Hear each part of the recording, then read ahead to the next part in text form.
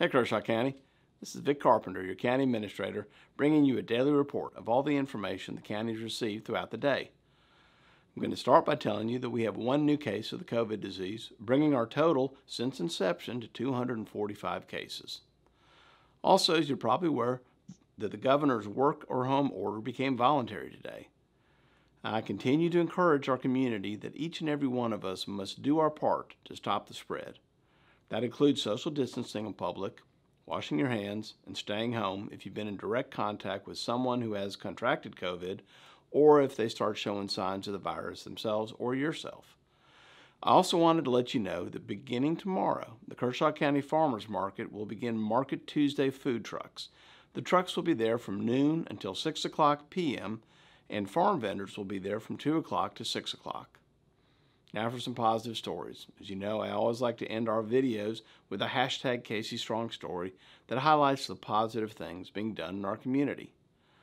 First, I'd like to give a shout out to Adam Marshall and the staff at Hawthorne Pharmacy for wearing their KC Strong shirts to work last week.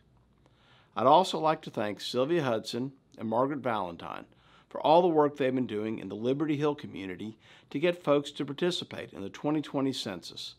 What a great way to use this time during COVID to help our community.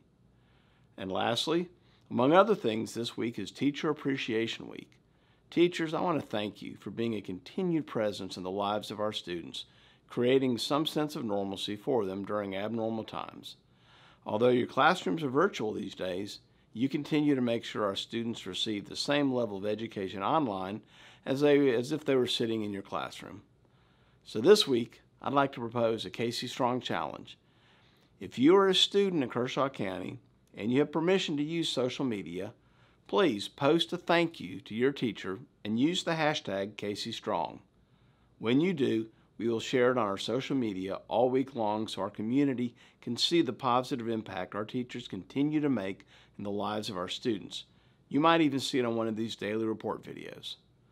And remember, you can always find real-time community information on our county's dedicated coronavirus webpage, hotline, and social media accounts. Stay strong, Kershaw County. I'll see you tomorrow.